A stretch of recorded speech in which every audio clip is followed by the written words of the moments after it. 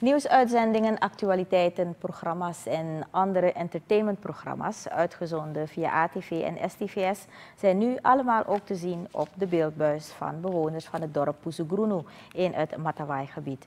Telesuur maakte de ontvangst van deze televisiesignalen per oktober 2018 mogelijk voor dit 500 personen tellend dorp.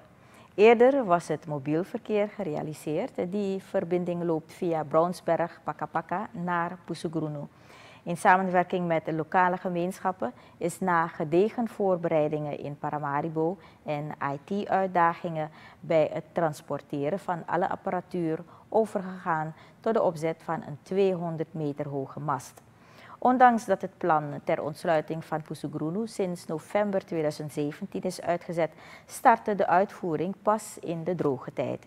Dit met het oog op veilige werkomstandigheden. Bij ontsluitingswerkzaamheden wordt stevast samengewerkt met de lokale dorpsgemeenschappen. Telesuur is sinds 2015 bezig het binnenland te ontsluiten middels operationalisering van mobiele telecommunicatie, als ook digitale televisie. Vanaf de start zijn onder meer Sela, Grambori, Apetina en Tepu ontsloten.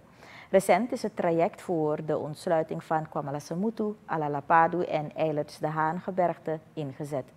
Het telecommunicatiebedrijf zegt dat met de ontsluiting van Pusugrunu en de andere dorpen er meer klanten aangesloten worden op haar netwerk. Dit betekent ook meer inkomsten voor het bedrijf, waardoor ze in staat zal zijn de lening die ze bij de overheid heeft afgesloten af te lossen.